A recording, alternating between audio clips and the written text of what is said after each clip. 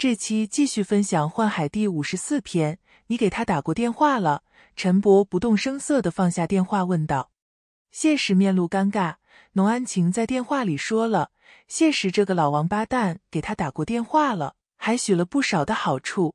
但是这更让农安晴觉得自己男人的案子不是那么简单。如果真是啥问题没有，这些人会惯着自己闹吗？但是从另外一个方面也可以看出，他们没有胆子再把自己搞死。他现在担心的不是自己。而是自己女儿田寻燕，他是真的怕这些丧尽天良的东西对自己女儿下手。好在这些人目前还没有表现出这方面的倾向。有时候农安晴也在想，自己这么闹，最后能有好结果吗？可是，一想到自己男人惨死，他又不甘心。你这么谈，他更以为我们可以无限制的满足他的条件，这还怎么谈？这也是柴书记的意思。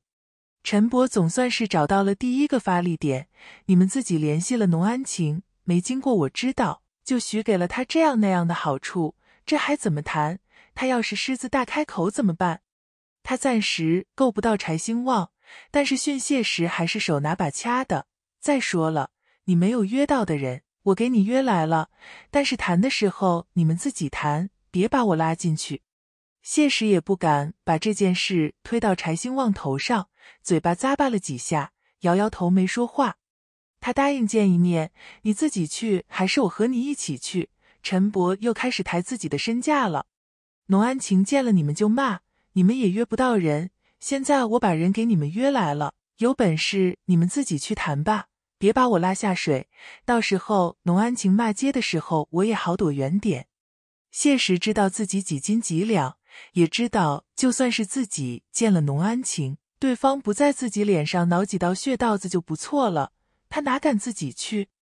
而且柴兴旺也说了，这次尽量让陈伯扮演主角，目的当然是把陈伯拉下水，让他对付农安晴。后面的事情就很简单了，这两人必须有一人出局。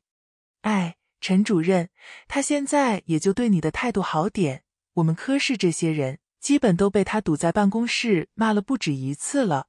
还有个问题，你可能不知道，不但是他，就连他教的那些学生，也在明里暗里的对学校表达不满。学校担心这事以后影响不好，想停了他课。这么严重，那就干脆停了他得了，把事情闹大，大乱才能大治嘛。陈伯不屑地说道。谢石一愣，暗骂这家伙站着说话不腰疼。真要是闹大了，外面就有更多的理由介入到学校里来了。这正是眼下校领导不希望看到的。地方是谢石找的，就在党委小楼上的会议室。陈伯和谢石到的时候，农安晴母女早已到了。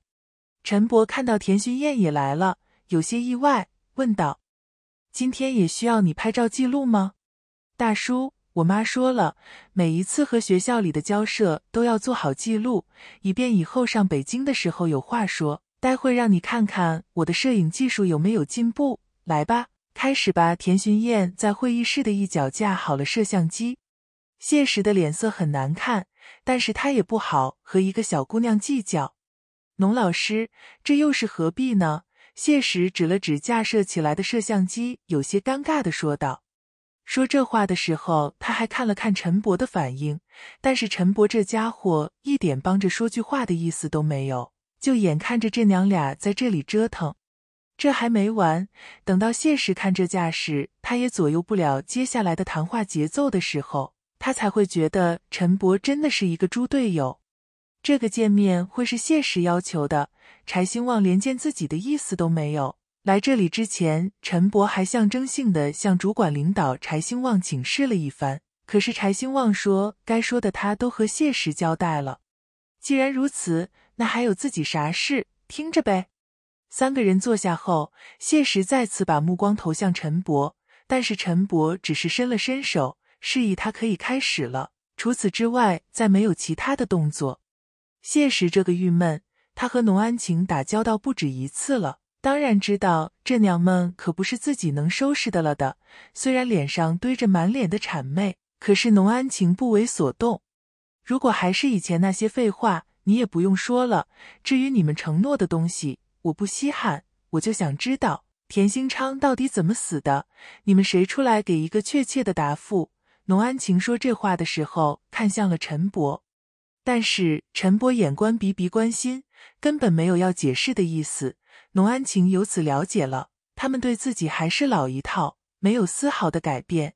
这次所谓的见面会，不过就是多了一个陈伯而已。老田的事，学校领导很重视。陈主任刚来，对老田的事情不是很清楚。学校领导说了，老田的车祸可以按工伤处理。为了照顾你，学校这次评教授对你可以一路绿灯，走个程序就可以了。你看呢？陈波闻言瞥了一眼谢石，心想：这他妈的就是你们拿出来的条件，这不应该是早就可以拿出来的吗？老谢，这样好不好？我把这些好处让给你，让你老婆去死，咋样？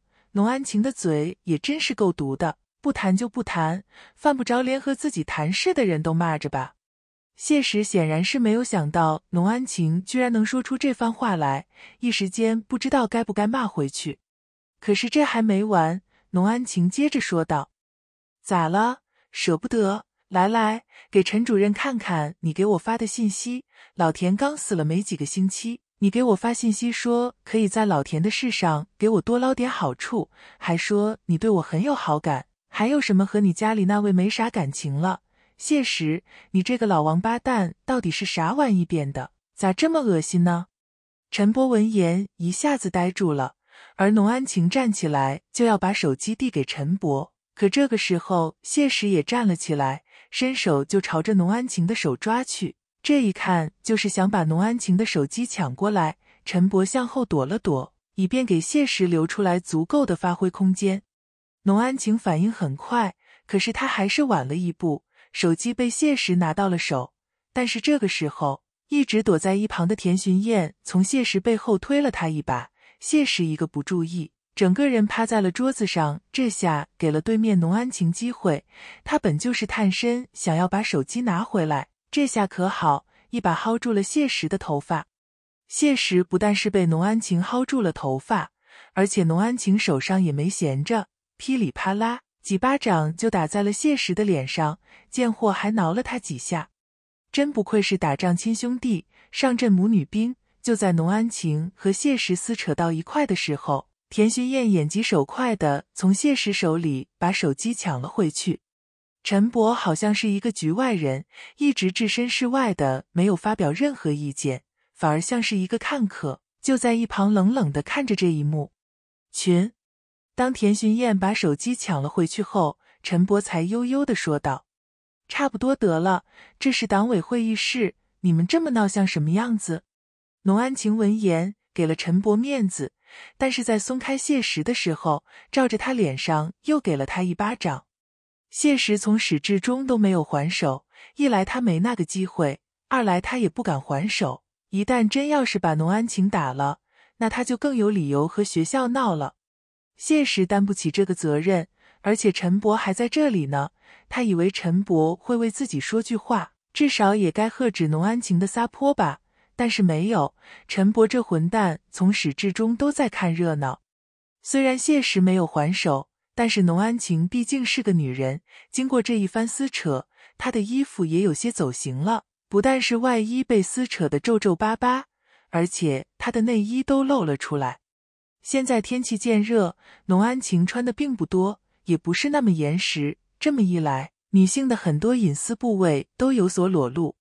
农安晴镇定下来后，迅速整理一下衣服，接着又指着谢石的鼻子开始骂了起来。还别说。农安晴不愧是老师出身，骂人那也是一套一套的。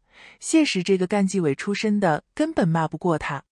哎，打又打不过，也不敢打，骂也骂不过。谢石心里那股子窝囊气可想而知。头发被农安晴薅得乱七八糟，而且农安晴下手是真的狠。会议桌上的那一绺头发非常扎眼，不用说，那一定是谢石的。而且他脸上也被挠了一个血道子。非常醒目，谢石知道今天自己算是倒霉到家了，不过他心里还是挺高兴的。事情都这样了，学校领导总不能还让他出面做农安晴的工作吧？所以从今天往后，农安晴这块烫手山芋才算是真正的扔出去了。至于扔给谁，那还用说，当然是眼前这位看热闹不嫌事大的陈主任了。谢石想好了，这就去柴兴旺那里告陈伯一状，趁着这事的热乎劲，赶紧把农安晴这娘们的事从自己身上彻底撕扯下来。谢石走后，农安晴这才有机会认真整理一下自己的衣服，能谈就谈，不能谈就拉倒，这又是何必呢？陈伯无奈的摇摇头说道：“他们没有任何诚意，我一直要和校长书记谈，他们一直躲着我。这里面如果没有问题，他们躲着我干啥？我丈夫死了，我见到的最大的学校领导是纪委书记柴兴旺，那也是个说人话不办人事的混蛋。算了。”不和你说了，他们肯定会找你。我们以后打交道的机会多的是。说完这话，农安晴气呼呼的走了。田寻燕收拾了自己的摄影器材，朝陈伯尴尬的笑了笑，快步跟着农安晴走了。十分钟后，陈伯接到了柴兴旺的电话，让他马上到办公室来一趟。听得出来，这次柴兴旺也急眼了。果然。谢石也在，但是不知道这家伙怎么和柴兴旺说的。从自己进门，柴兴旺的脸色就异常难看。怎么搞的吗？两个男人还收拾不了一个女人？你们俩是干什么吃的？这话虽然说的是你们俩，可是柴兴旺是盯着陈伯说的，很明显，这邪火是冲着陈伯来的。陈伯没理他，而是看向谢石，问道：“老谢，要不要去医院上点药？”面对陈伯对自己的冷脸，柴兴旺也没什么好办法。一来这事确实没陈伯啥事，农安情要打人，为什么不打陈伯？当时陈伯离农安晴更近一点，为什么没对他动手？第二个原因就是陈伯的背景。现在学校领导通过各方渠道对陈伯做了一个全面的了解，他们很清楚，陈伯就是省里砸进来的一颗钉子。最难受的是，他们明知道陈伯来这里的原因，可是没有能力改变这一切。陈伯，刚刚谢石把刚发生的事都告诉我了，你对这件事不了解，以后你不要再管农安晴的事了。学校会派其他人和农安晴对接，你做好你的本职工作就行了。”柴兴旺冷冷的说道。柴兴旺说完这话，心里也是一阵紧张，他担心陈伯这家伙油盐不进。拒不服从自己的命令咋办？自己还能和他闹翻脸吗？哪知道陈伯居然当即就同意了，这让柴兴旺倍感意外。可是接下来陈伯的一句话彻底把柴兴旺问住了。我对这件事确实不熟悉，也不想管。问题是农安晴去找我解决问题，你们谁能说服他别找我就行？我确实不想掺和你们以前的利益纷争。谁能说服农安晴？这不是扯的吗？柴书记，逃避不是个办法。我刚刚和农安晴谈了谈，他说老田的事出了之后，他见到的最大校领导就是你，他想和校长书记对话，这个能安排吗？陈伯的话句句诛心。校领导如果有胆子和农安晴见面，不早就见了吗？怎么会拖到现在？要想解决问题，现在学校的条件还不够，学校领导们是不是商量一下？提高一下价码，就目前开出来的条件，我看也没有谈的必要了。农安晴不会接受的。陈伯三两句就把农安晴的要求都讲了出来。但是陈伯不知道的是，这些人都不想承担责任。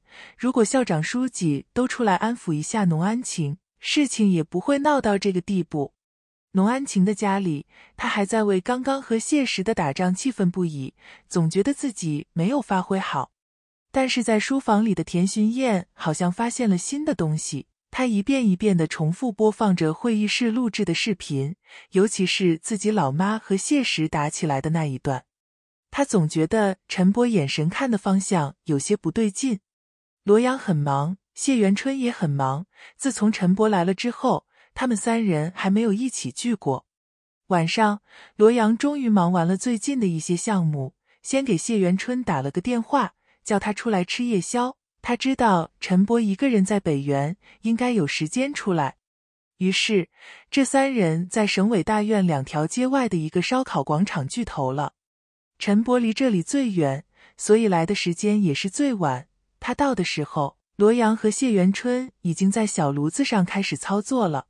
陈伯连连道歉：“你该买辆车了，不然出入不方便。”罗阳说道：“买啥买？你明天来公司，我给你协调一辆，烂是烂了点，车嘛，能带不就行。”谢元春递给陈伯一支烟，说道。罗阳看了陈伯一眼，在陈伯说话之前，把他的话堵了回去。庞书记对他寄予厚望，你不要让他犯错误，哪怕是去买个二手的，也不要用你公司的车。再说了，你那个公司里不知道多少人在盯着你呢，这样的低级错误不要犯。罗阳提醒道。谢元春被罗阳这么一说，非但没有感觉到难堪，反倒是压低了声音说道。哎，罗阳说的对，我昨天在饭局上听了个消息。当然，说这话的人当时不知道我的身份，所以胡说什么庞书记正在从外省调人过来，信不过本地干部之类的。我还想多听听呢。那人被人提醒之后，喝了几杯就走了。所以你我还有陈伯，我们都要小心点，低调做人，尤其是不能被人拿到了把柄，不然。庞书记那里也不好交代，三人深以为然。到目前为止，陈伯作为一根蝎子，刚刚嵌入到高校水电学院，在庞国安眼里，腐败最明显，也是腐败最彻底的一个单位。而谢元春则是作为另外一根蝎子，正在深深的扎进青安省国企中的代表，也是最赚钱的企业水电投资集团两位领导。你们来北园也有一段时间了。知不知道有个叫九仙渡的地方？陈伯皱眉问道。谢元春闻言，抬头看了一眼罗阳，说道：“嘿，可以哈，这么短的时间就知道九仙渡了，看来咱领导眼光不错。陈伯就是干这一行的料，有胆有识有脑子。”陈伯被谢元春说的有些莫名其妙。虽然谢元春和罗阳对他都不错，而且老弟老弟的叫着。他和罗阳之间还好，因为他们之间只是有一段极短的上下级关系。但是他和谢元春可是有很长时间上下级关系的，所以对于谢元春老弟老弟的称呼，他可不敢称呼对方为老哥，依旧是一口一个领导的叫着。领导可以和你随便，但是你最好不要和领导随便，不然以后就没那么随便了。我第一次知道这个名字是从农安晴给我的材料里，他写的也不是很清楚。虽然他闹得欢，但是对于学校里的内情好像知道的不多。看他的材料，总有一种隔靴搔痒的感觉。陈伯说道。谢元春点点头，说道：“九仙渡这个地方确实不是现实中存在的，是他们为了掩人耳目。”而私下里给一个项目取的名字，以至于他们说起这个项目的时候，外界是没人知道的，因为压根就没有这个地方。陈伯接着问道：“这个叫九仙渡的地方是什么项目？是一个水电站，小型水电站。青安省的水电资源很丰富，随便找个山台拉里堵上就能发电。”这个叫九仙渡的地方就是一个小型水电站，但是这个水电站从没有和国家电网联网，它发的电只是供一个地方使用，就是离水电站两公里的矿场。罗阳说道。陈伯没有接着问下去，他知道今晚这两位领导一定会对他说一些他不知道的事情，也是为了他下一步在学校里展开工作提供助力。这个矿场不是金银铜铁。而是电脑计算机挖矿，就是现在很贵的那种比特币。一提到比特币，陈伯悚然一惊，他不由得想起了党琼，想起了陆寒烟。陆寒烟支付给宁刚平的比特币都是党琼操作的。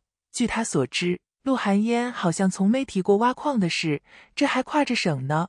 陆寒烟的手应该不会伸这么长，大概率是他从网上购买的，现在还在挖。陈伯皱眉问道：“因为他早就注意到，中国在前几年下过一个文件，禁止给这些挖矿的矿场用电。当然了，为了攫取巨额利益，不能保证有地方政府的官员私下里为这些矿场供电。如果还在挖，那就好办了，直接抓起来询问一下不就得了？问题是，这些人早就跑了，水电站也停止发电了。”因为关键人物死的死，跑的跑，导致现在这个项目好像是没人能负责了。无头案子一个谢元春说道。陈博点点头，问了一个非常白痴的问题：涉案金额很大。陈博问道：“修这个水电站的钱是水电投资集团从银行贷款的，到现在这笔钱还没还上，这是能看到的损失，真金白银就摆在那里，无法否认。但问题是，这个水电站发了这么多年的电，卖给了谁？这又是另外一个损失。如果不是我到了水电头，这个项目根本就不存在；如果不是银行催债。”我也不知道有这笔钱存在。他们用国家的钱发了电，卖给了挖矿的矿场，矿场赚了多少钱，没人知道。谢元春摇摇头说道。罗阳接着还说了另外一个问题：其实按照案子的侦查程序，凡是牵涉其中的人都可以由纪委出面把他们留置询问。可是据现在得到的消息看，这些涉案人员分赃用的不是真金白银的人民币，而是比特币。这玩意没法查，只要比特币的所有者死活不交代加密密码，你怎么都难查到他到底分了多少脏钱。投鼠忌器，这就是为什么庞国安一直没有下令纪委或者是检察院介入的原因。到现在为止，依然是从外围逐步向核心区一步步推进。陈博在学校里，谢元春在水电投资集团，不管是哪方面取得突破。到时候就可以堂而皇之的下手了，只是可惜了蒋家木这个人。从我们集团内部材料来看，这个投资两个亿的水电站是蒋家木亲自设计的。当时不管是施工还是设计，都属于比较先进的，就是放到现在也不属于落后的。他是这方面的专家，是被那些人拉下水的。谢元春无奈的说道。蒋家木是水电学院的校长，陈博知道这个人，但是还没见过。而且蒋家木在水电这方面很有研究，他数次出国讲学都被拦了下来。对于这一点，国际上水电学会已经给中方施加压力了。这么优秀的专家不能参加国外的学术会议，一次两次行，一直不让出去就有问题了。这些问题都被庞国安顶了下来。他知道，不管蒋家木的家人在不在国内，只要是他出去了，他就再也不会回来了。这不是危言耸听，这是有证据的。因为他在给自己国外学生的电子邮件里，指使他们多多给他报一些国际研究会议，甚至是花钱让这些会议的举办方给他发邀请信。他很迫切的需要这些邀请函把自己捞出去，所以这件事要抓紧啊。庞书记就指着你俩，多多少少能有点进展，这样他才能给你们更大的权力和助力。罗阳最后说道：“南港高家家宴，高宁今天很高兴，因为他终于说服陈小妍来家里吃顿饭了。这是他们交往以来，陈小妍第一次独自一人来高家吃饭。高家很重视，高兴妍工作很忙。”但是也抽时间回来，坐了一个小时才走。高宁请了假，姐弟俩在家里忙活了半天。魏地就是在自己家里做，自己家里吃，至少是干净的，也足见他们对陈小妍的偏爱。晚上，高兴妍回到家里，高宁和高安琪还在客厅里喝茶。他们正在讨论的是高宁和陈小妍什么时候能结婚。走吧，楼上陪我喝点普洱。高兴言对姐弟两人说道：“高安琪姐弟闻言，相互对视了一眼，起身跟着上了二楼的阳光房喝茶。这是他们家的规矩，一说上二楼喝茶，那就是有事要说。”高安琪忙着烧水泡茶，高宁给自己老子递过去一支烟，但是高兴言拒绝了。“你真打算和小妍结婚吗？”高兴言问道。“嗯啊，咋了？你不同意？”高宁愕然问道：“高兴言没说话，而是端起一杯茶，吸溜着喝了一口，很烫，又放下了。我不是不同意，是有些问题还没解决好，我担心将来会出问题，到底会不会连累到你？你可要想清楚了。”高兴言严肃的说道：“连累到我？谁呀？陈小妍？不是陈伯。虽然市里对臧红喜交代的事情有了结论。”但是这些事疑点重重，市里不想深究，我也不好缠着不放。但是有些问题，我们自己心里要有数才行。高兴言一边喝茶一边慢慢说道：“今晚的谈话让姐弟俩都很震惊，因为自己父亲当纪委书记很多年了，但是从不会在家里谈工作。可是今晚谈的这些事情，无一不是敏感的工作。”高宁第一个听不下去了，刚刚想说话，但是被高安琪用眼神拦了下来。高安琪示意他不要说话，听着就是了。父亲今晚说的这些事，他最好是都记在心里。因为高安琪首先意识到的一点就是陈伯确实有问题，可是问题到底有多大，有没有证据，这些都是可以谈的，要不然父亲也不会告诉他们这些。而父亲借这个机会告诉他们姐弟俩这些事，很明显是在告诫他们。其实又何尝不是让他们给陈伯递个话呢？高兴言真要是和陈伯摆明了谈，那以后这关系就没得处了。尤其是自己儿子和陈伯的关系，还有这个傻闺女和陈伯的关系，虽然他看不透，但是也能觉察一二。臧洪喜交代了一些事情，关系到关家树、陈伯和关家树的关系，我就不用多说了吧。关家树不是死了吗？高宁皱眉问道。是啊，正是因为他死了，所以很多事现在落到了陈伯的头上。臧洪喜举报说，关家树有大笔的赃款下落不明，陈伯有没有参与赃款的转移，现在没有证据。但是臧洪喜一口咬定，陈伯不但知情。还参与了，只是他拿不出证据，证据都在宇文兰的手里。但是宇文兰现在生不见人，死不见尸。虽然他的手机信号到了日本，可是登岸之后就在没有任何信号了。高兴言无奈的说道。姐弟俩听了这话，心里一阵轻松。没有证据就好，真要是被自己父亲查出来陈伯有犯罪的证据，他们该如何自处？我也觉得陈伯没有那个胆子，也没有那个必要。但是臧洪喜又交代了一个人，我觉得这个人倒是有能力补足陈伯的短板。禁区，也就是关家树的小舅子，他和关家树好多年不来往了，但是禁区和他的姐姐一直保持着良好的关系。这个人是个商人，很难说他没有参与关家树后事的处理。高兴言一席话。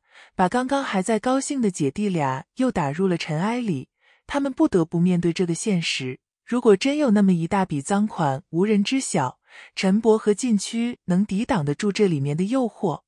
那把这个人也叫来问问，不就什么都清楚了？高宁问道。高兴言看着自己的儿子，摇摇头，说道：“这个人出国了，就在几天前。这是我办过的最头疼的案子。要说没有证据吧？”关家树的秘书信誓旦旦说他有多少钱，收了多少礼。你说有证据吧？这个家伙所有的信息都只是听说，没有确实能拿得出手的东西。禁区到日本了，当他敲开门的时候，姐姐静影站在门内，有些不敢相信的看着站在门外的弟弟。分别这段时间以来，发生了太多的事，以至于静影以为自己再也回不去了，再也见不到老家的亲人了。关初夏的手抚在肚子上，问道：“他怎么样？”禁区知道他问的是谁，故意问道：“谁呀？”关初夏闻言，脸一板，白了自己舅舅一眼。禁区不敢再卖乖，只能无奈的说道：“哎，怎么说呢？你这人不地道。之前那么好的关系，你们俩让我都羡慕了。陈伯也不是个习惯胡来的人，你说你把他闪的这一下子，歪头。”差不多得了。关初夏一听这话，立马就不干了。关初夏瞪着眼问道：“你也觉得这是我的错了？你们俩瞒着我干了啥事？你心里没数吗？”舅舅，你说句心里话，我这次要不是跑得及时，是不是就被边控了？禁区心想，这倒是。根据陈伯的消息，南港方面确实是要找关初夏核实情况的，只是他连夜跑了。而纪委书记高兴言还是找了陈伯谈话，只是以陈伯和高兴言家的关系，这老头也就是一丝一丝没有深挖而已。真要是深挖的话，作为关家树的小舅子，自己也难说能安然脱身。禁区不好意思的点点头，不过事情做都做了，还是要向着陈伯说话。劝和不全分。不然的话，看关初夏现在这架势，依然是火气十足。自己再不出力吹火，估计陈伯和关初夏的关系又得僵一段时间。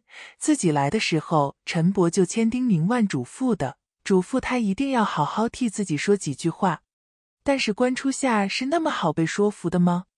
不过禁区决定要在这里住一段时间，所以不急，得空就过来陪着姐姐和外甥女说说话。以自己的三寸不烂之舌，还能说服不了关初夏？他不信。晋颖看着这两人，眼看着就要吵起来，立刻出面制止了。夏夏说的对，不会有什么风险吧？晋颖问道。禁区没说话，只是皱眉摇摇头。没有风险的话，他可不敢说。万一关初夏回去有风险，被带走调查，这个责任他可承担不起。可是要让关初夏一辈子不回去。这事他也做不到，他怎么知道？他和陈伯狼狈为奸，为了那点钱，搞得我现在有家不敢回，有男人不敢回去团聚。我这次回去，本来是想着日本的学业暂时停止，等孩子不缠手了再来接着读。我不想放弃这个孩子，可是陈伯做的事让我很心寒。禁区没吱声，女人，你得给他充足的发表意见的时间。他们不叨叨出来，心里绝对是不舒服的。所以你可以理解，公鸡每天早晨叫唤几声也就完事了。但是母鸡下了蛋叨叨，带着小鸡觅食叨叨，和别的母鸡吵架也是叨叨。总之，叨叨这是一种生活。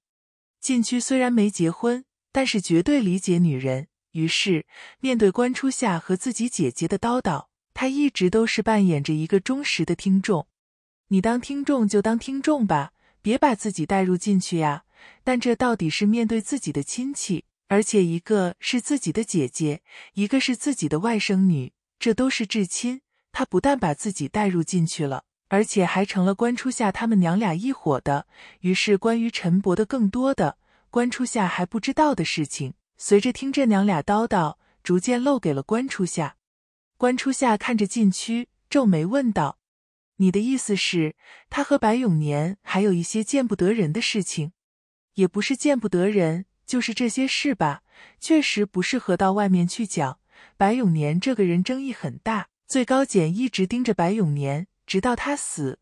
我给他办过一些事。对了，陈伯对我说过好几次，他想重建揽社，我不赞成他这么做。一来这么做的风险太大，二来，你等会。揽社是什么东西？关初夏问这话的时候，看向了自己母亲靳颖，也是一脸懵。禁区这才意识到自己说的太多了。可是到了这个时候了，如果不把关于陈伯的事都说出来，以关初夏的脾气，他们将来还是会闹掰的。于是，当禁区把知道的关于陈伯和白永年的事情都告诉了关初夏之后，关初夏的脸都白了。很显然。这件事对他的刺激比关家树那些所谓的遗产还要强烈。关初夏几乎是咬着牙回到自己房间的，打开手机，微信上又是好几个未接电话，都是陈伯打来的。可是他没有拨回去，因为这个时候拨回去，自己和他只能是大吵一通。虽然自己和他吵架的时候，他基本不怎么说话，就像是看一个小丑在表演。可是现在他连吵架的兴趣都没了。如果说自己父亲那些遗产的处理，陈伯是犯了一般的错误，可是关于白永年的那些秘密，陈伯可是从来没告诉过自己。而且按照舅舅的分析，白永年一定是给陈伯留了什么东西的，要不然陈伯也不会心心念念的要重建揽社。作为干部子弟，关初夏太知道在体制内拉帮结派的重要性了。可是这种站队的结果就是。收益大的时候非常大，可以说在顺风顺水的那几年，要风得风，要雨得雨。但是花无百日红，这个队伍里一旦有人犯错，牵连的也是这一根绳上的蚂蚱。不能只看贼吃肉，也要看到贼挨打才行。但是关初直明显的感觉到陈伯在这条道上滑得太远了，所以今天不适合和陈伯视频谈话，他想找个时间。两人心平气和的谈一下。舅舅到了，今天很累，等有时间了，我们谈谈吧。关初夏回复了这么一句话后，就再没回应陈伯的任何信息。看到这个回复，陈伯有一种不祥的预感。关初夏当初找陈伯，就没指望他能飞黄腾达。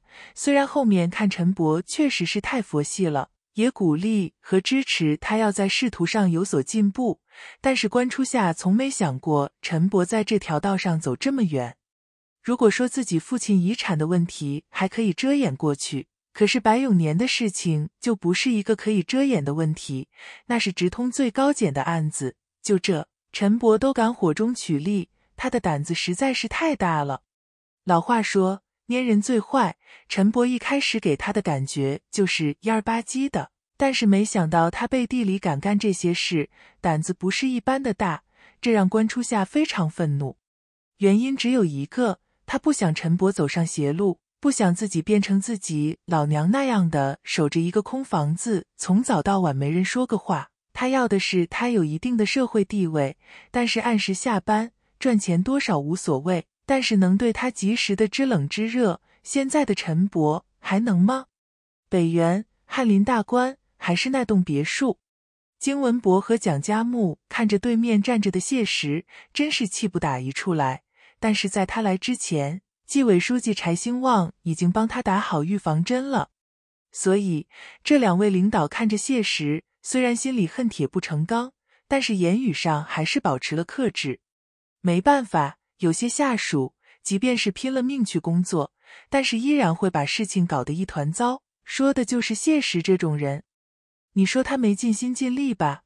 确实拼尽全力了，可是结果呢？不但没有完成领导交代给的任务，还成功的把事情搅浑了。领导，农安晴就不是一个女人，她比男人还男人，我根本治不了她。而且那个新来的陈伯看着我被打。一动不动，一看就能看出来，他们是一伙的。行了，别说了，你先回去吧。柴兴旺看了一眼自己的下属，真的是气不打一处来，但是也是无可奈何。本来这事就棘手，就算是自己去找农安晴谈，不知道会是什么结果呢。谢石终于松了一口气，不出意外的话，农安晴这事以后再也不会找到自己头上来了。一想到这里，他摸了摸自己脸上这道血道子，感觉真是他妈的挠得太直了。谢石走后，客厅里的三人一时间陷入了沉默。过了半天，柴兴旺才说道：“刚刚得到消息，农安晴打算在开会的时候去北京，这事我们不能再犹豫了，该给的、能给的都拿出来吧。再不给，这事还是谈不成。他要拉着大家一起去死。”两位领导拿个主意吧。金文博作为这里面有最后决定权的人，他一直没说话。哪怕是蒋家木也同意了柴兴旺的提议，可是这个老家伙依然没有最后拍板。这就意味着这事不能这么干，或者是至少金书记不同意。客厅里再次陷入到了沉寂之中。最后，金文博好像是下定了决心似的，说道：“好吧，你们商量一下。”定个标准，能给什么？商量好后给我看看，到时候再定吧。对了，找人盯死了，告诉他们，只要农安晴去了北京，他们今年的奖金一分没有。老头说到这里的时候，眼神坚毅，一看就是恼火了。农安晴确实让他恼火了，但是当着这两人的面，他什么都不能说。作为学校的领导。他要和大家保持一致。既然校长和纪委书记都赞成继续给农安晴加码，那就继续加吧。但是他知道，就算是自己把这个书记让给农安晴，他依然不会满足，该要挟的还是会要挟。我始终想不明白一件事：当初你们做田兴昌的工作到底是怎么做的？没给够，还是压根没给？如果按照我们当初拟定的计划都给到位了？田兴昌也拿了，那为啥农安晴这么大火气？他不知道吗？蒋家木不解的问道。柴兴旺闻言一下子愣住了，看向蒋家木的眼神里都是这几个字：“你什么意思？”金文博闻言看了一眼蒋家木，说道：“我相信底下人做事不会这么不靠谱。田兴昌是怎么回事，我都知道。不要说了。”蒋家木愤愤然默不作声了。他很郁闷，他也有资格这么说。其实，在这次田兴昌出事之前，他已经在国外待了半年多了。不出意外的话，他这次回来就是辞职出国的。作为水电领域的专家，他每年出去开几个会就够自己全年挥霍的，更不要说在九仙渡这个项目里的分红了。可是他回来没多久，田兴昌死了，车祸死亡。从那个时候起，水电学院就被盯上了。全部人员不许因私出国，虽然规定说的是因私，其实具体执行起来因公也废了。蒋家木再想出去，不知道猴年马月了。最要命的是，他们自己心里有数，他们做过什么事，拿了多少钱，这些他们自己心里门清。真要是因为九仙渡这个项目被抓，那过去奋斗的这几年就白白浪费了。经文柏一晚上都没有离开这个别墅，因为在蒋家木和柴兴旺走了之后，他还在这里见了其他的人。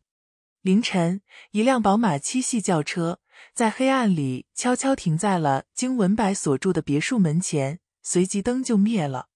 不知道车上的人在干嘛。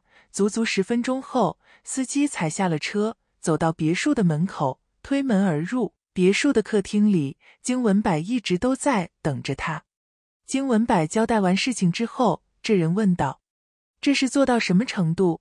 他女儿最后是死还是活着？结果不一样，我们处理的过程就不一样。”金文柏闻言，嘴巴紧紧的抿着，好一会才说道：“他爸爸在下面也挺寂寞的，那就让他去陪着吧。”黑衣人点点头，随即站起身出了别墅。汽车开出别墅区之前都没开灯。农安晴担心的事情终于要发生了。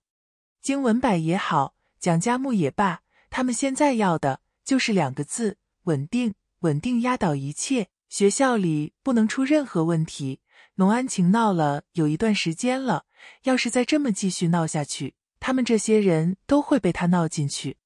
人死灯灭，农安晴不能再出事了，但是他女儿可以。他相信这个人的手段，他可以把这件事做得很漂亮。他要用这件事把农安晴彻底击垮，让这个女人变成一个大众眼里的疯子。当她的精神出现了问题，那就可以堂而皇之的把她送进去精神病院了。再说了，谁会相信一个精神不正常的人说的话呢？丈夫死了，农安晴现在唯一的寄托就是自己的女儿了。所以，只要田寻燕出事，农安晴一定会疯了的。这就是他要的效果。敬酒不吃吃罚酒，那就吃吧，给你吃够，让你沉醉。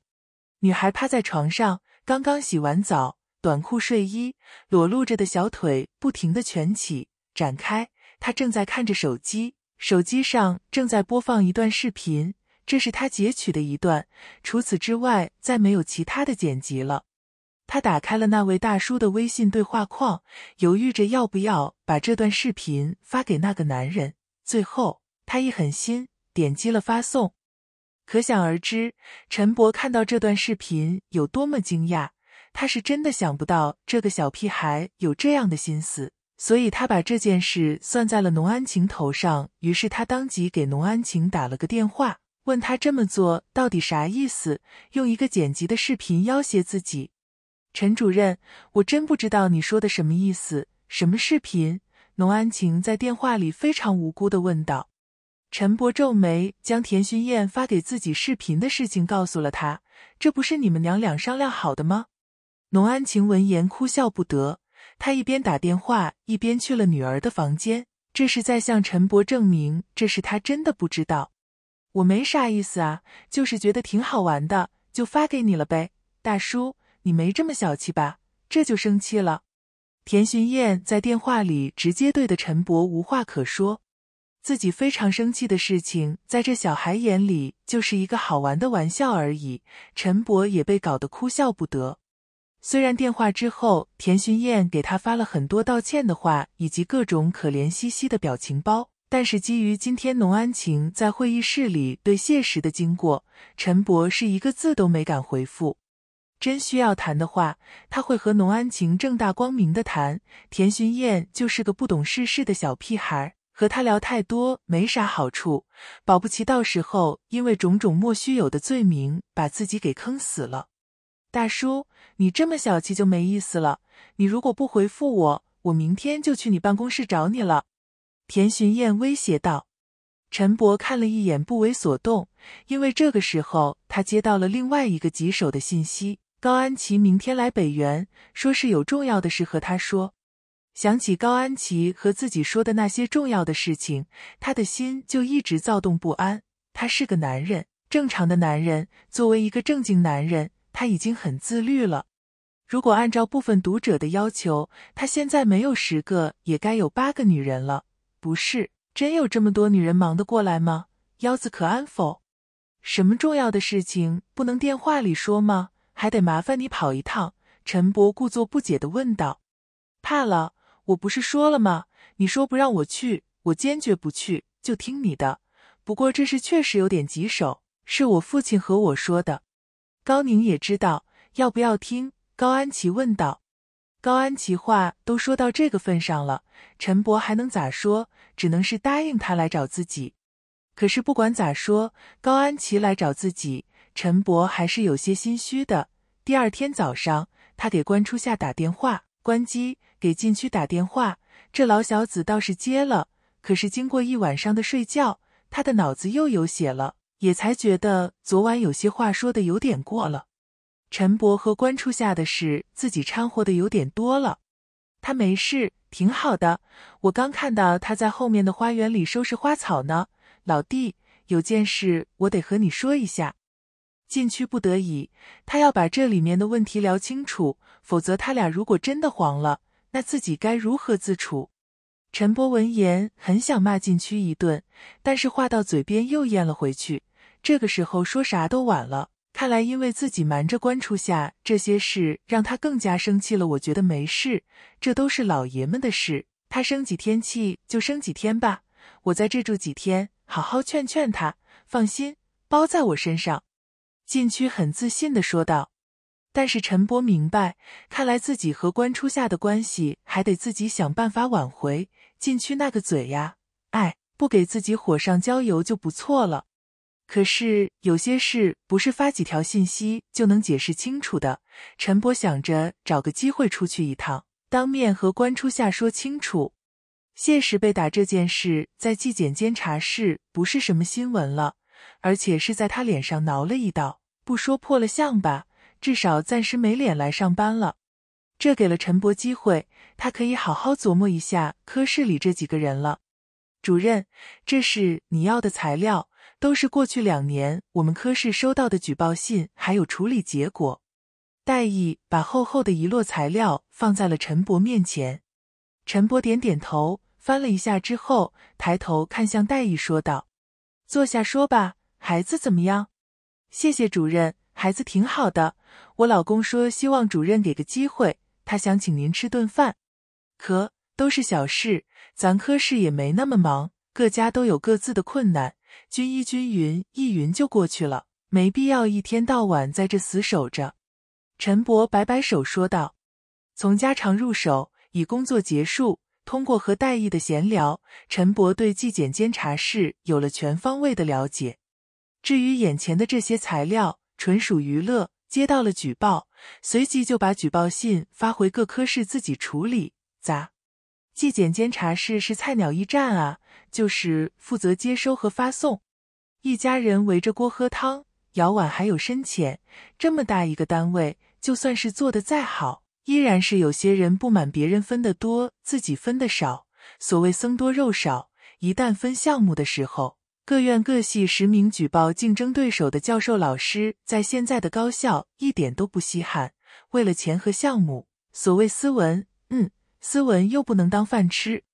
陈博决定从这批人下手。陈博相信，这么多的老师和教授，还有学校管理人员，他们对自己分到的利益，就真的非常满意吗？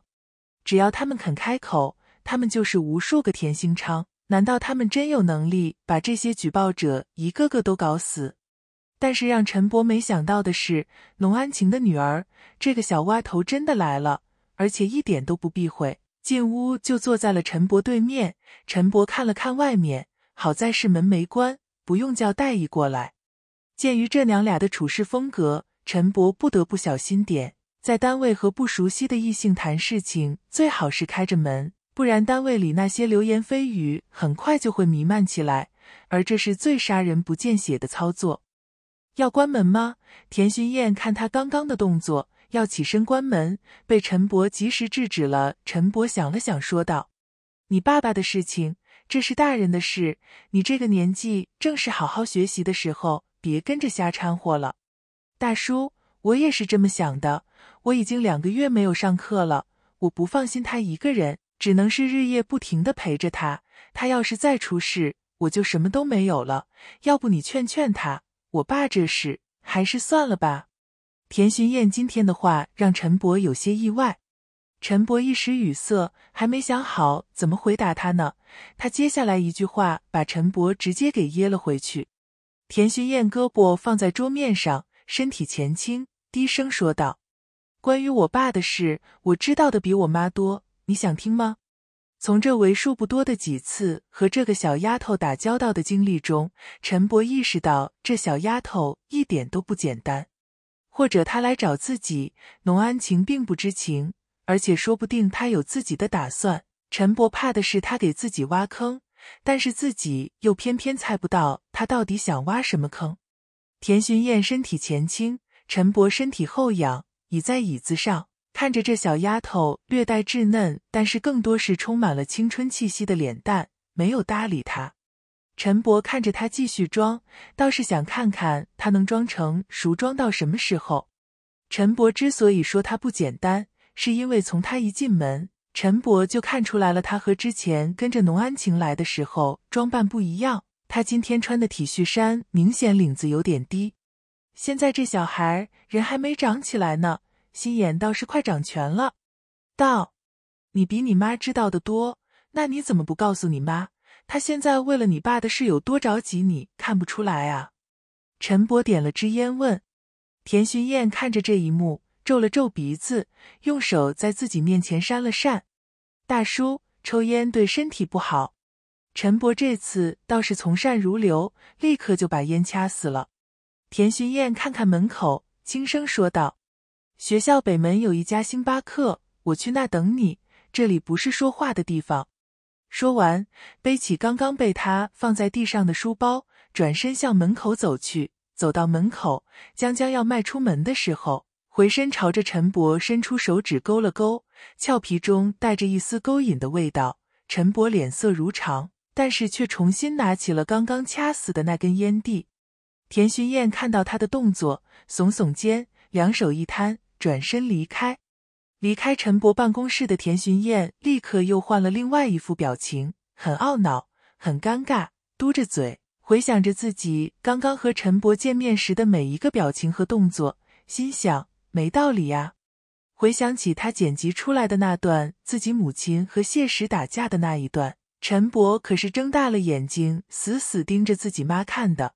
难道他是个睁眼瞎，眼睛有毛病？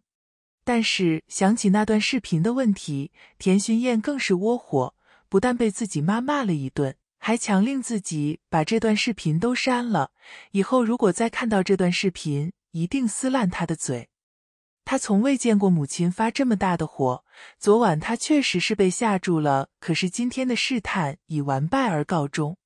田寻燕在星巴克足足等了一个小时，才看到陈伯姗姗而来。星巴克里人不多，而且到处都是监控。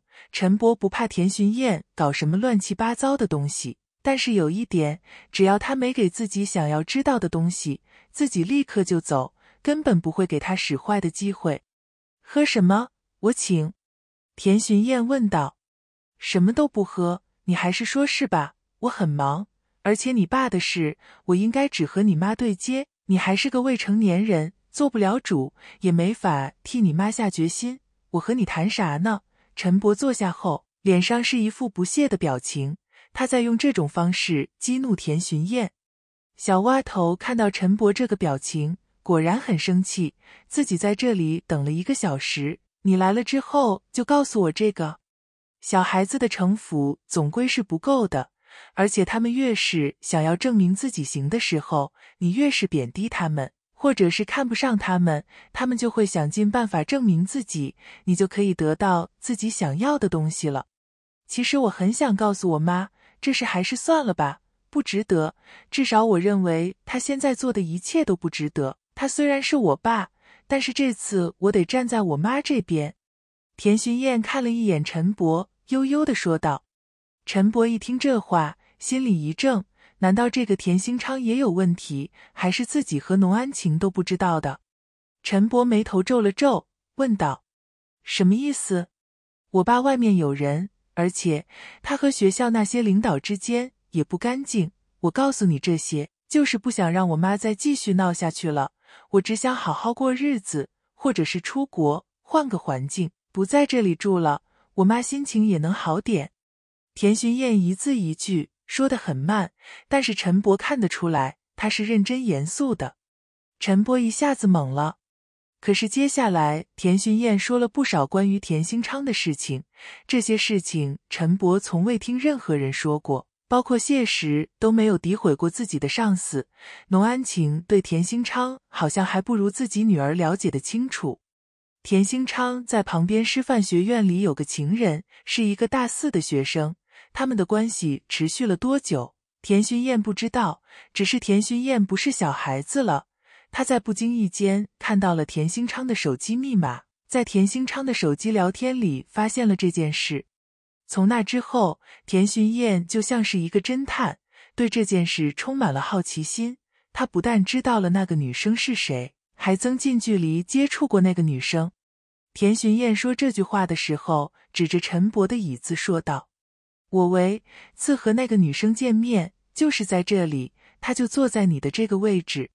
陈伯下意识的看了看自己的椅子，田寻燕接着说道：“我爸出事前几天，有一天我爸回来的早，我在我的房间里写作业，我爸在书房里打电话，他和对方吵起来了。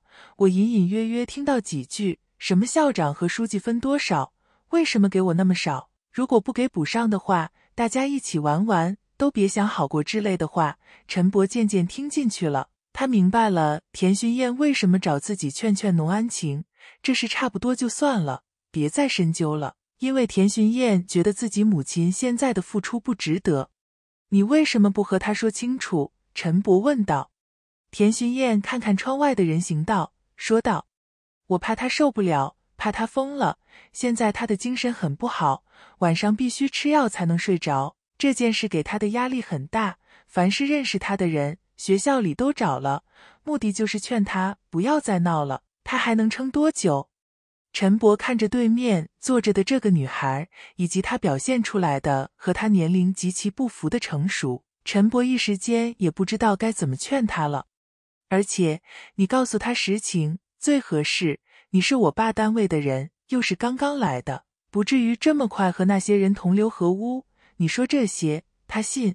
如果我来说，他会觉得这是很丢人。她是个要强的女人，估计她这辈子剩下的时间也高兴不了了。我试试吧。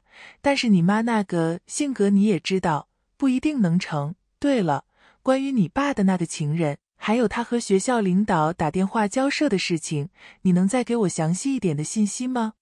田勋燕好像早就知道他会对这件事感兴趣，于是从书包里拿出来一张纸，递到了陈伯的手里。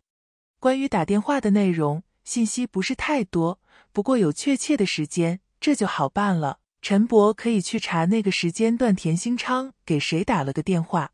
接下来是关于田兴昌那个情人的资料，不但很详实，而且还有几张拍的不错的照片。你拍的？陈伯问道。对，怎么样？我技术还行吧。说到摄影，这小丫头又开始得意起来。她站起身来，绕到了陈伯的身边，指着照片，告诉陈伯在哪拍的，什么时候拍的。陈伯如果想去找她，可以在什么时间、什么地方找到这女的？你跟踪过她？陈伯皱眉问道。算是吧，我还拍到过他们一起去酒店的照片，可惜当时很生气，回来就删了。而且都是背影，没敢靠得太近，价值不大。田寻燕有些生气的说道：“陈伯看着这些照片和材料，不得不说，田寻燕确实是受了农安晴的影响，小小年纪整理材料都这么有一套了。好，谢谢你，你妈那里我试试吧，找机会我告诉她。陈伯说道。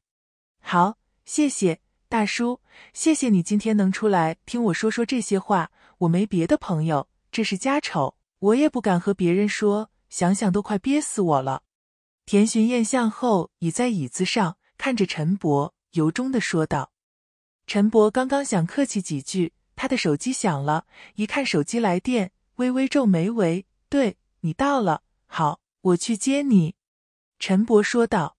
陈伯站起身，拿起资料，对田寻燕说道：“我也谢谢你，你今天提供的这些东西很有价值，回头我请你和你妈吃饭。”田寻燕听他这么说。撇撇嘴说道：“虚伪，要请就今天中午请吧。我妈去上课了，中午没地方吃饭，你去接谁？啊，女朋友？”陈伯没搭他的话茬，说道：“你问的太多了，我走了。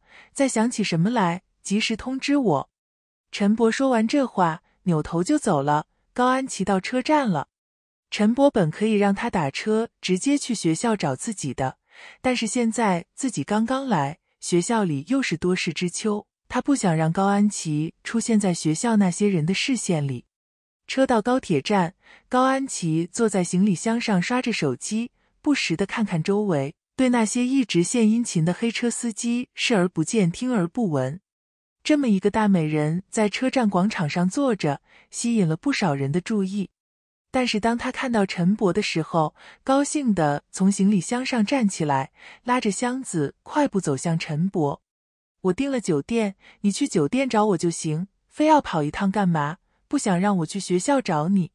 高安琪一眼就看穿了陈伯心里的小九九。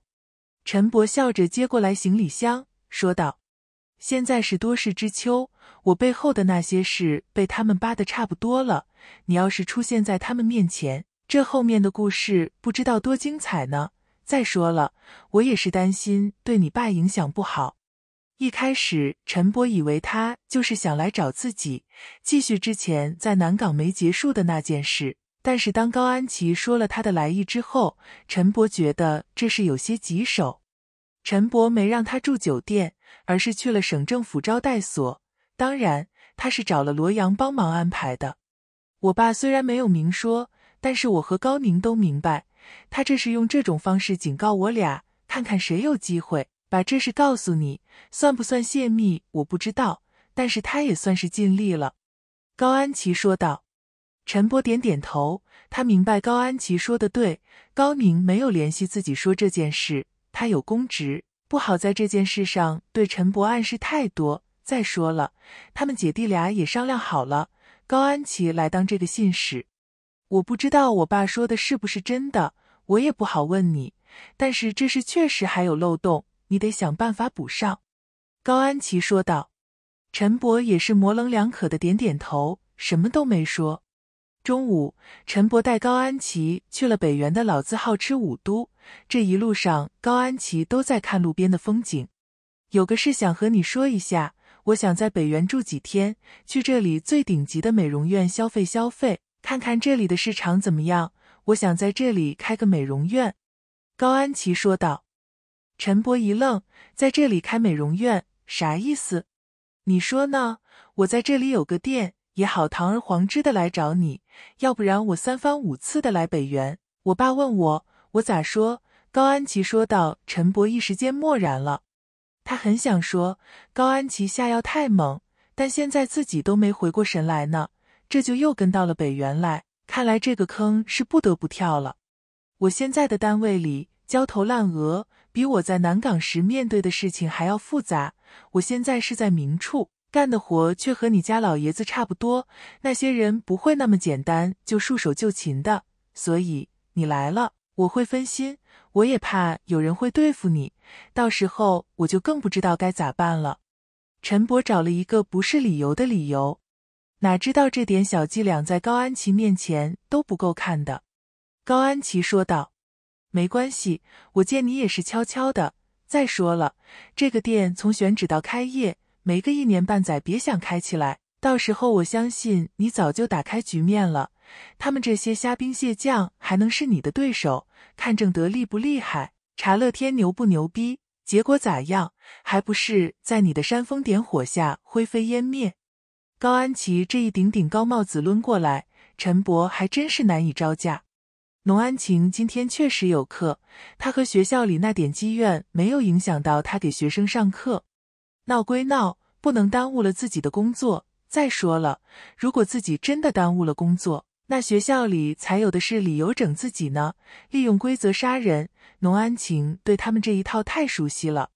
所以，从决定开始和学校摊牌的那天起，学校里的任何工作他都没落下过，哪怕是妇联组织的妇女体检。他都没请假，时间安排这一块简直是完美。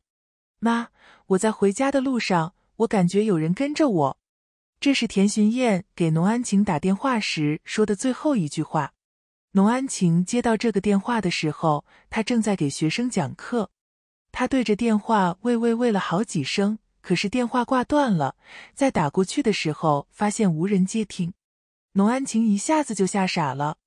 他也顾不上这是在上课了，什么都没带，拿着手机就出了门，疯了似的给田寻燕打电话。可是女儿的电话始终无人接听，这让他的心渐渐沉了下去。他坐在教室外的花坛上，一边哭一边一遍一遍的拨打电话。可这个时候，女儿的电话已经关机了。他很清楚，如果这个时候女儿是自由的，那他就一定会接电话。不会不接，更不会关机，所以这个时候他推测女儿一定是失去自由了，要不然怎么会突然之间杳无音信呢？他在愣了足足十分钟后才想起了陈伯，他先是给罗阳打了电话，但是罗阳的电话无人接听。相比陈伯，他还是更相信官位更高一点的罗阳。此刻的陈伯正在陪着高安琪喝咖啡，就在离学校不远的一处写字楼的下面门店。这里也是高安琪看中的，想要开美容院的地方。这里的房租不低，但是这周围都是写字楼，这些白领们吃个饭的功夫就可以下来做个脸，位置很好，但是价钱也不错。不急，你慢慢说，怎么回事？陈伯接到农安晴带着哭腔的电话时，也是一愣。皱眉问道，于是农安晴强制自己把没流出来的眼泪憋了回去，把自己刚刚接到田寻燕电话的经过，以及现在田寻燕关机的情况告诉了陈伯。你报警了吗？陈伯问道。报警了，他们不管，他们说不到时间没法立案。我说我女儿有可能是被人绑架了，可是他们说可以再等等，等我女儿的电话打通再说。陈伯没听他讲下去，直接说道：“你在学校等我吧，我这就回去。”陈伯回到了咖啡馆，简单和高安琪说了一下眼下的事情。高安琪立刻让他去忙，不用管自己。但是他把陈伯送出了咖啡馆，在陈伯离开的时候嘱咐道：“注意安全，我等你回来。”农安晴没去办公室等陈伯，他在楼下的大厅里等着陈伯的到来。他不想自己鼻涕一把泪一把的惨样让纪检室那些人看到。此时的他早已是六神无主，拿不定任何主意，也不知道去找谁求助。他能依靠的就是陈伯一个人。陈伯还没到，罗阳的电话打了回来。罗阳听他讲述完这件事后，立刻表态说道：“这事你放心交给陈伯处理，我待会给他打电话。你那边有什么需要我帮忙的？”可以直接给我打电话，不管怎么样，先把孩子找回来再说。罗阳的电话给农安晴吃了一颗定心丸，在陈伯回来之前，他的情绪稍安。但是当他看到陈伯的时候，情绪还是激动起来了。陈伯也没带着他去办公室，而是直接去了他的车。这一路上，他都在絮絮叨叨的和陈伯说着刚刚发生的事情，还在不断的问陈伯要不要报警。现在该怎么办？陈波想了想，他给罗阳回了个电话。罗阳的意思是报警，让警方介入，这样可以迅速的定位到孩子在哪。陈博也是这个意思的，但是他没有干等着警方那边的消息。陈博联系了森林路，他是网络方面的专家，对于定位这种问题比陈博在行的多。森林路果然给了他很确切的建议。陈博记得田寻燕用的是苹果手机，孩子用的是苹果手机对吧？陈博扭头问农安晴道：“是的，是的。那电脑呢？也是苹果的吗？”陈博一边听着森林路的指点，一边问道：“也是苹果的，这有啥用吗？”农安晴不懂这些，陈博懂得也不多。直到听完了森林路的全部讲解，此时农安晴开车也快到家了。陈博跟着他去了家里，打开了电脑，根据森林路的指点，用电脑上的手机查找功能。即便是手机关机了，依然能定位到手机的位置。田寻燕的手机是关机，而不是被扔掉了。这可能是目前唯一能找到田寻燕的机会了。陈博一边回忆刚刚森林路的指点，一边指导着农安晴从电脑上寻找手机的位置。果然，手机的位置定位到了一家快捷酒店。他去酒店干什么？农安晴抬头问陈博道：“这个时候了。”哪还顾得上这个？于是陈伯、农安晴开车立刻赶往这家酒店。酒店的房间很多，要找到田寻燕不知道啥时候呢。再一个，他们选择了酒店，陈伯担心这个时候田寻燕早已受到了不可挽回的伤害。在酒店的门前停下车，陈伯观察着周围的情况。此时是白天，酒店的停车场上没有几辆车。但是在这为数不多的几辆车中间，有一辆不太干净的五菱宏光面包车。除了驾驶座前排是玻璃窗户之外，其他后面的窗户都是和车体一样的材质。这是一辆封闭式面包车。陈博听了农安晴最后接到的田寻燕电话里说的那样，有人跟着他，大白天的在路上抓一个人，还是个大活人，他能不叫喊吗？最大的可能是被一把拉进了这样的面包车里，进去之后嘴里塞上任何东西都再难发生了。你看到这辆车了吗？你待在这里，等警察到了，你再下去和他们说。任何接近这辆车的人，你都拍下来。我进去找人。”陈博说道。“我也要去。”农安晴说道。但是被陈博拒绝了。就农安晴现在的情绪状态，他进了酒店后。一旦情绪发作，势必会惊到绑架田寻燕的人。这些人一旦发现有人来了，要么是跑掉，要么是对田寻燕进行伤害。总之，农安晴这个时候进去，实在是有百害而无一利。陈博还考虑到另外一个问题：一旦和自己猜想的一样，田寻燕此时已经被侵害了，当妈的真要是看到那一幕，他该有多崩溃？所以陈博才让他在楼下等着。这可能是最好的安排了。你见过这个女孩进去吗？她应该不是一个人来的。见过吗？陈博在前台出示了田寻燕的照片，问道：“这个我们这里有规定，不能暴露客人的隐私。你再说一遍试试。”陈博当即拨打了幺幺零，并把手机给前台看：“我是那女孩的爸爸。你要是不告诉我，我女儿出了事。”我一把火把你们这点了，你信不信？陈博低声怒道。前台服务员看到陈博凶神恶煞的样子，也不敢再隐瞒了，只好给了房间号，并且亲自带着陈博去开门了。陈博走到门口，伸手从服务员手里把门卡抢了过去，但是刷不开，因为门从里面反锁了。当房间里的人问谁的时候，陈博低声告诉服务员。就说是前台赠送了水果，本以为这样可以骗开房门的，可是里面的人倒是有点见识，就是不开门，居然让服务员把水果放在门口就可以了。陈博摆摆手，示意服务员可以走了。服务员走后，陈博把耳朵贴在门上听了听，这种快捷酒店的隔音属实不好，里面的对话听得清清楚楚。各位，行了，别没事找事了。等黑哥来了之后，我们把人交给他就行了。这一单就算是做完了，各位该拿的钱我会一分不少的转给各位。不过接下来嘛，我问黑哥了，你们几个利索点，别和没见过女人似的。我出门抽支烟，二十分钟的时间够你们玩的了吧？一个女人的声音传来，于是陈博没有选择暴力破门，就在门口等着这个要出门抽烟的女人出来。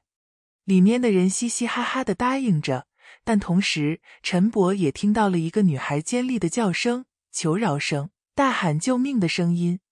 陈伯听不出这个声音到底是不是田寻燕，但是可以肯定的是，这个时候里面刚刚说话的这几个男的准备对这个女孩动手了。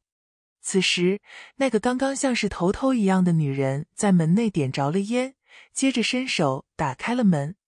陈伯等他的头刚刚伸出门口的时候，伸手掐住了他的脖子。如果是面对敌人的时候，这个时候对方最脆的喉结应该早已碎裂了。但是陈伯没下死手，这个女的该不该死不是自己说了算，在没有搞清楚这伙人的底细之前，不能出人命。这个女人被卡住了脖子，呜咽着想要发出求救的信号，可是她一点声音都发不出。直到陈伯把她推进了房间，然后抬腿带上了门。此时，大床附近的三个染着黄毛的小年轻都把注意力放在了床上垂死挣扎的女孩身上。他们听到了门口关门的声音，但是他们下意识想到的是，刚刚那个大姐头走了，而不是被人掐着脖子拎了回来。陈波没理会这几个人，而是狠狠地将手里这位大姐的头撞向了隔开卫生间的玻璃门上。随着这位大姐的铁头撞过去，门玻璃瞬间倒塌，倒在地上的时候碎了一地，稀里哗啦。这个时候，三个黄毛少年才把注意力拉了回来。他们看到了倒在地上、头上鲜血直流的大姐头，以及一个他们不认识的男人站在房间里。他们愣了一下。随即就意识到了什么，离陈伯最近的一个家伙伸手抡起椅子，朝着陈伯就砸了过去。但是陈伯稍微一闪身，躲过了这狠狠的一击。可是，一伸手，当椅子抡在地上后，陈伯却一把抢过了椅子。你用椅子砸我，我也用椅子砸你，这很公平。对方这瘦的和马杆似的小混混，哪经得起这一下子？当即就被砸倒在地上。哀嚎不止，陈伯手下掌握着分寸呢，可能会打残，但是不会打死。另外一个家伙一看这个架势，马上从兜里掏出来弹簧刀，看来玩的时间不短了。这把刀子在他的手里玩的那是上下翻飞，甚是精彩。可是陈伯没理他这一套，弯腰拾起来刚刚砸散架的一根椅子腿，看都没看他，做了一个横抡的姿势。这家伙果然上当，可是陈伯当即姿势稍变，抡改成了劈，椅子腿狠狠地砸在了这家伙的脸上。他也顾不得玩刀子了，双手捂着脸，像是眼睛瞎了一样，鲜血直流，盖住了他的眼睛。他以为自己被打得眼瞎了呢。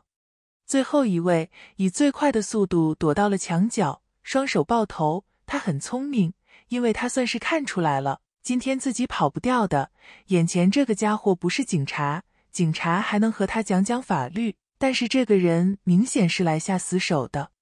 陈伯看了一眼床上的女孩，没错，就是田寻燕。田寻燕一脸幽怨的看着他，上衣已经被扒掉了，再晚来一分钟，上面肯定就啥也不剩了。陈伯倒是能看得更多。田寻燕看到有人进门的那一刻，他也被吓住了。直到看到是陈伯，他浑身瘫软，根本连把衣服拉起来的力气都没有。裤子被扒到了小腿弯处，可爱的白色小内裤上还有一只米老鼠。陈伯轻声说道：“没事吧？把衣服穿上。”这个时候，田薰燕才意识到了自己的狼狈，于是手忙脚乱的把衣服穿好。警察还没上来，但是已经听到警笛声了。谢谢。田寻燕觉得自己的嗓子发干，如果陈伯再晚来一分钟，自己面对的就不是眼前这个局面了。陈伯弯腰捡起来一根桌子腿，递向了田寻燕。田寻燕一愣，不解的看着陈伯。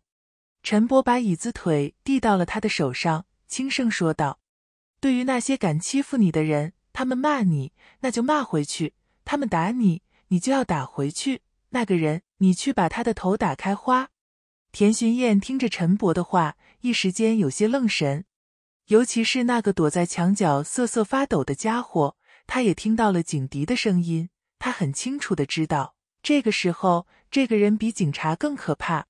在道上混了这么多年，他这是第一次这么渴望警察快点到来。警察快到了，如果你再不动手，这辈子都难说有这机会了。”陈伯说道。田勋燕看了一眼陈伯，他点点头，给了他一个下决心的眼神。田勋燕义无反顾的拿起那个桌子腿，朝着角落里那个家伙走去，一下两下，因为陈伯在，所以这家伙根本不敢还手，只能是暗暗祈祷警察快点上来。在田寻燕打了十几下后，警察终于推门而入，房间里一片狼藉。最后，这家伙伤得最重，陈伯一直站在旁边看着，直到警察把田巡燕拉开。陈伯的选择是对的。下楼的时候，田巡燕在电梯里小声对陈伯说道：“房间里的事别告诉我妈。”陈伯点点头，算是答应了。如果农安晴看到房间里那一幕，不知道会不会发疯。农安晴看到女儿和陈伯完好无损的走出来。他急步跑上去，抱住田寻燕，嚎啕大哭。陈伯站在一旁看着这母女俩，他待会要跟着去一趟派出所，毕竟打伤了这几个人，该说的还是要讲清楚的。农安晴陪着女儿去了医院，检查了一下之后，也到了派出所。陈伯给罗阳打了个电话报平安，也告知了他这边派出所的事。派出所的领导接到电话后，很是客气，把陈伯请到了办公室，简单的问了几句之后就签字了，还说这几个黄毛早就想抓了，不过他们是大错没犯，小错不断，这下终于可以起诉，送进去关几年了。绑架、非法拘禁加强奸未遂，数罪并罚，没个十年是出不来了。田寻燕是未成年人，本来对他的询问是需要有监护人陪同的。但是他没有选择农安情，反而是让陈伯陪着，理由是他对这件事最清楚。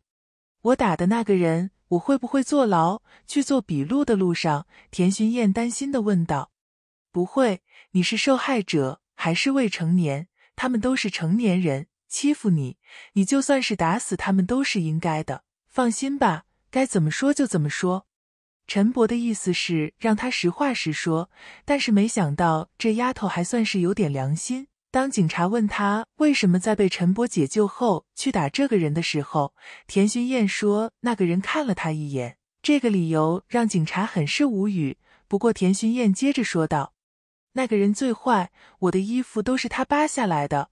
我虽然被救了，难道他看我不是想记住我，等他出来再找我算账吗？”我本来想的是戳瞎他的眼，但是他一直抱着头，没法看清楚哪里是他的眼。有意思的是，他从始至终都没说是陈伯让他打的，陈伯就坐在一旁，警察不时的看他一眼。但是领导交代了，这个人不要和他多说话，也不要多问，话多容易找麻烦。笔录做完后，两人坐在走廊里不锈钢长椅上。大叔，谢谢你。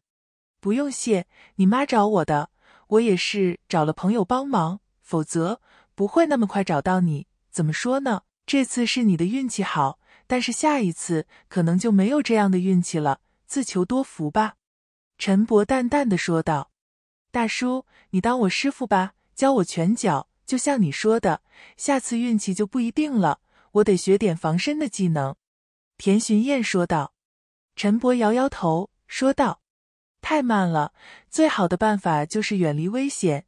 等你有能力保护自己了，不知道猴年马月了，不行动就永远没有结果。只要行动，就永远不晚。就这么说定了。我回去告诉我妈，给你转点钱。我不白让你忙活。田寻燕说的一本正经。陈伯没理他，这娘俩没一个省心的。陈伯从田寻燕被警察询问的过程中听到，这三男一女只是负责把他抓上车，带到酒店。至于糟蹋成什么样，那个叫黑哥的不在乎，只要是活着交给黑哥就行。这是田寻燕在这几个人的对话里听到的。陈伯和田寻燕从派出所出来后，将这个情况告诉了农安晴。农安晴回头看看车上的女儿，看向陈伯。你老公这事差不多得了，对方这是真的恼火了，要不然也不会对小孩下手。我去的及时，孩子没受啥伤害，就是受了点惊吓。你想想，万一今天我们来的不及时呢？我和他说了，下一次不会这么幸运了。”陈伯说道。这一次，农安晴是真的被吓到了。农安晴也知道陈伯说的没错，这一次是好运，但是谁能保证次次都这么好运？农安晴咬着牙不说话，他是不甘心，可是也害怕。你真的了解你老公吗？或者说他有什么收入是你不知道的？陈伯问道。农安晴闻言一愣，问道：“什么意思？”谢时没来上班。我正好和科室里的其他人聊了聊，一来是想了解你老公这个人，二来也是想从他们的言谈举止中找找线索。他们有人和我说了一件事：你老公外面可能有人，这是你知道多少？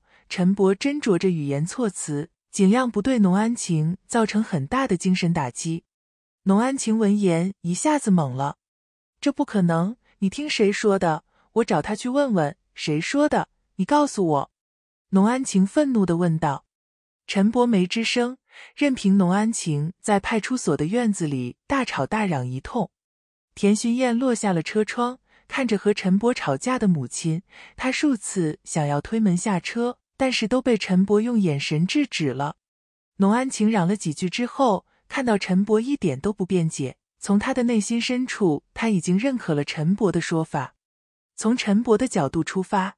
他倒是恨不得农安晴一直在学校里闹，这样也可以收集更多的证据线索。但是发生了今天的事情之后，陈伯觉得再这么下去，这娘俩一定出事。尤其是当陈伯看到在酒店的大床上被扒掉了裤子的田寻燕的时候，他觉得再放任农安晴继续闹下去，他们势必会受到他们承受不起的伤害。妈，他说什么了？田寻燕故意问道：“没什么，是妈妈不好，莫考虑到你的安全问题。我想好了，你出国读书的事，我尽快给你办，让你早点出去。你走了，我就安心了。你爸的事，我不甘心。”农安晴倔强的说道。田寻燕闻言没吱声。如果是在以前，他一定非常高兴农安晴的安排。可是现在，出国读书对他的吸引力已经降。到了第二位，妈，我求你件事吧。说什么事？我是你妈，什么求不求的？净说傻话。你和陈伯说说，我想跟他学打架。今天他三下五除二把那几个混蛋打得哭爹喊娘。我就算是出国读书，像现在这样，你放心吗？你少来这一套，小姑娘家家的，学什么打架？你放心，以后妈不会让你有危险了。他们不忍。别怪我不义，农安晴恨恨地说道。田寻燕闻言，没有接着这个话茬说下去，而是淡淡的问道：“刚刚我看你和陈主任吵起来了，因为啥呀？”农安晴一开始没说话，但是这件事涉及到了田兴昌，犹豫了一会，还是把陈伯告诉自己的那些关于田兴昌的私密事告诉了自己女儿。但是他还是一再的强调自己是不信陈伯说的那些事情的。他相信田兴昌不是这样的人。他是你爸，你还不了解他吗？所以别人说的什么话也要分开听。虽然今天陈伯救了你，但是他说的关于你爸的事，我不信。农安晴固执的说道。田寻燕很想说陈伯说的都是真的，还是我告诉他的呢？但是看到母亲这个态度。田寻燕还是没敢说出来，不信就不信吧，反正自己老子都死了，在他的心里有个好印象，对他还能有个念想。你上去吧，待在家里哪都别去，把门关好，除非是我回来了，谁来都不要开门，听到没？农安晴把田寻燕送回了家里，嘱咐道：“那你去哪？”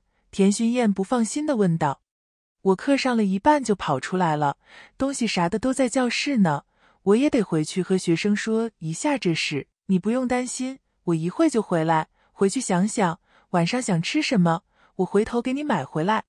农安晴笑吟吟的嘱咐道。田寻燕对农安晴的话没有怀疑，但是对于母亲的行为有些不可思议。自己刚刚被绑架了，这才回来，还没到家呢，他居然要去学校看看。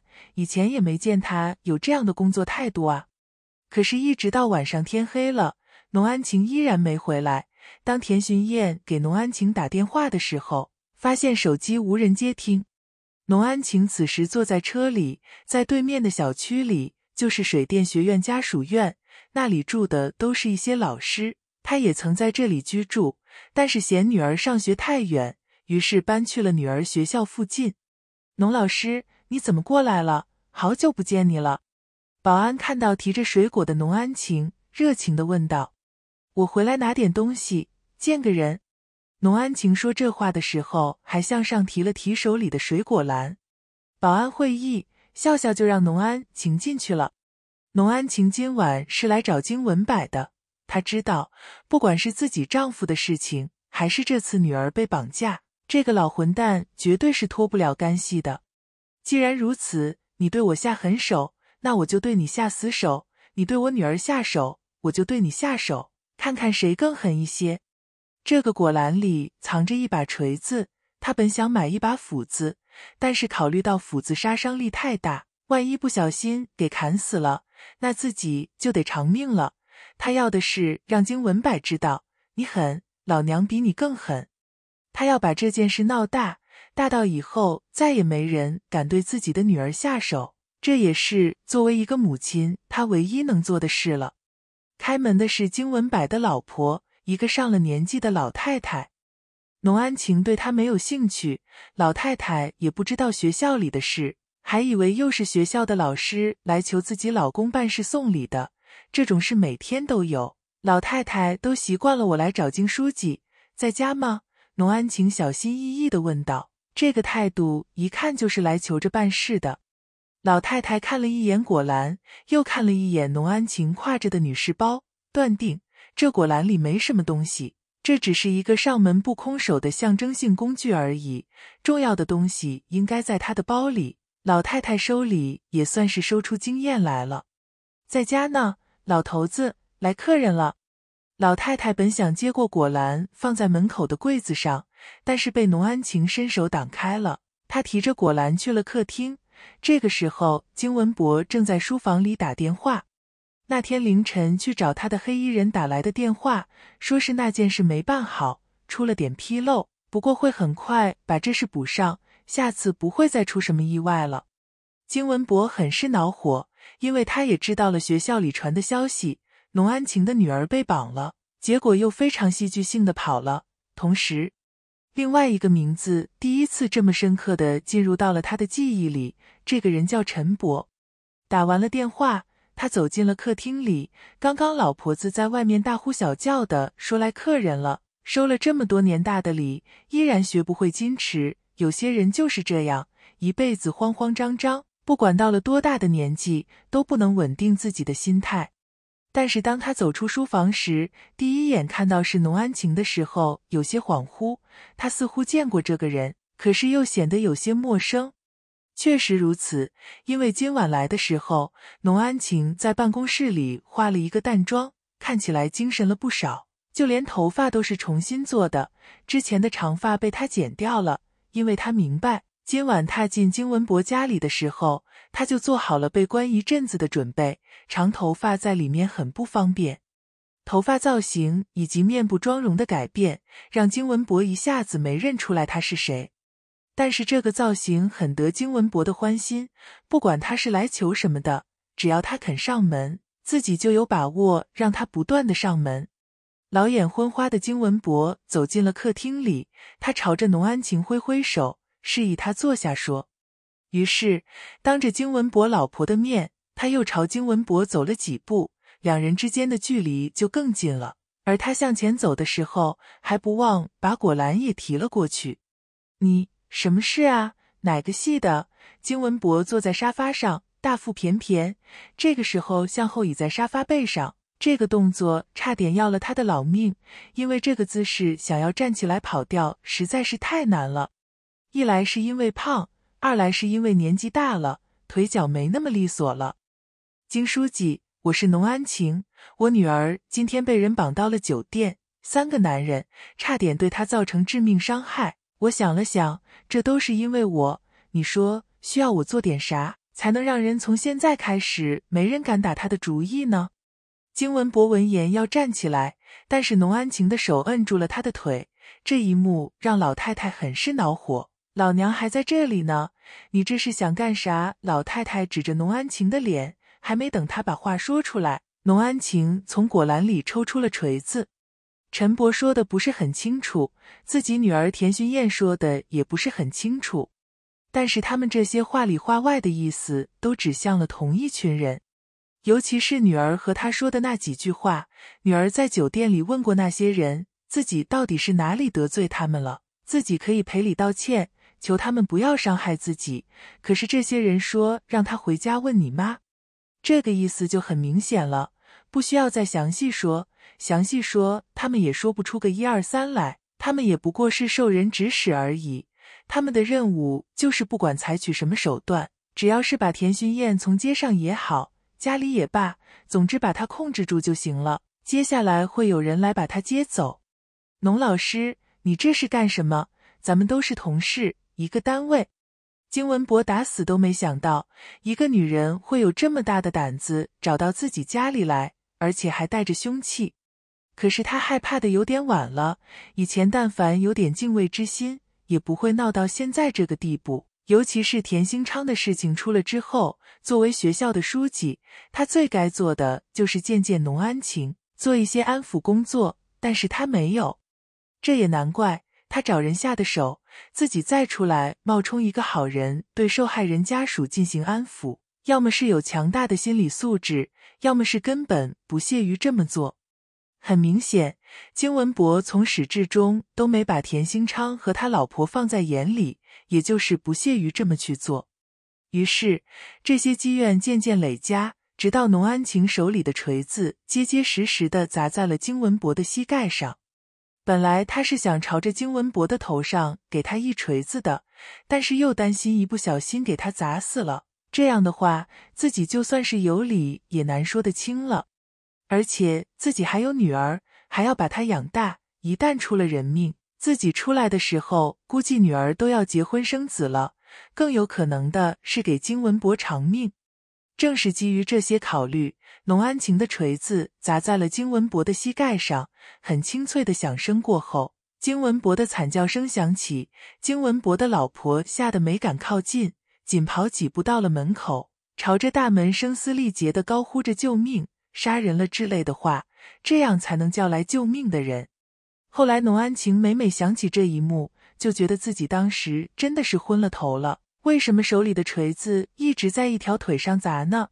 自己该把他另外一条腿的膝盖也砸碎，让这个老王八蛋这辈子连拄拐的机会都没有。膝盖这个部位是一个既脆弱又复杂的位置，这里的零件稍微有所损坏。恢复的时间代价就可能是几年，甚至一辈子都没机会再站起来。农安晴不可谓不狠，他不但砸碎了金文博的膝盖，还把他的左腿也砸断了。既然是来复仇的，砸到这里也就差不多了吧？没有，农安晴将金文博这个老东西砸倒在沙发上后，他又拎着锤子在金文博的家里开始了扫荡，只要是能砸烂的东西。一锤子下去可以解决问题的，统统都被他纳入了攻击范围。先是客厅里的鱼缸和古董摆设，继而是书房里金文博的古董收藏，这些东西都被农安晴砸了个稀巴烂。最先到达现场的是小区的保安，但是小区的保安最多也就是保你不继续挨打。对于农安晴一直持续的破坏，他们无能为力。一直到十分钟后，警察到了。他们才把手提着锤子到处砸的农安晴控制住，头发蓬乱，衣衫不整，语无伦次，疯疯癫癫。这就是警察控制住农安晴时他的精神状态。所以，当陈伯接到电话的时候，有些不可置信。当然，给他打电话的不是派出所，而是罗阳。农安晴这个女人真的很会借势。当警察询问可以给她的什么家人打电话的时候，她报了罗阳的电话号码。罗阳听了派出所领导的电话汇报后，当即指示他们先要看看农安晴的精神状态是不是精神有问题。而这个关于精神方面的问题，是在派出所领导从具体办案警察那里得知接电话的居然是省委大秘的时候，适时提出来的。罗阳听了汇报后，也很配合的把关于精神问题的疑问提到了一个更高的高度。这个案子本来是很简单的，但是事情到了这里，继续侦办的方向好像转向了。陈博很是郁闷，因为他接到罗阳电话的时候。好不容易关初夏搭理他了，想要和他视频聊聊之后的事，可是刚刚接通不到五分钟，还没等情绪运匀凉起来呢，罗阳的电话进来了。当他接完了电话，又给关初夏发了信息，解释了一下自己这边的情况，关初直再没有回音了。陈博到了派出所，派出所的领导直接说，农安晴好像是受了刺激，精神有点不正常。陈博也及时的把农安晴家最近发生的事情，以及今天他女儿刚刚被绑架这事也告诉了派出所。于是双方都很默契的觉得这件事很值得重视，干脆送医吧。但是慎重起见，陈博反对直接送精神病院，而是建议先送到普通的医院进行诊疗，确诊后再说。这件事也要时刻向领导汇报。到了医院，陈博趁着护士出门忙活的机会，看了看农安晴，说道：“你这是搞大了。派出所说你有精神问题，你最好是继续装下去，否则你上门行凶的事，金文博不见得会放过你。”农安晴也没想到还有这样的好事，于是默然点头，算是认可了陈博的建议。陈博能帮的也就到这里了，接下来的病情。就看农安晴自己怎么演下去了。因为是在视频里谈话，所以很多是陈博和关初夏都没办法明说，只能是很隐晦的交谈着他们认为的焦点问题。关初夏经过了这段时间的冷静，他也明白有些事一旦做了就没有回头路了，但是他还是想把陈博从逐渐歪斜的道路上拉回来。我能做的最大让步就是我爸的事，让我臭奥顶着。除此之外，你不要再牵扯任何其他的事，包括但不限于和贵路集团有关的所有事。你也不要想着再重建这个、重建那个。陈博，有些东西一旦塌了，就没有再重建的价值那。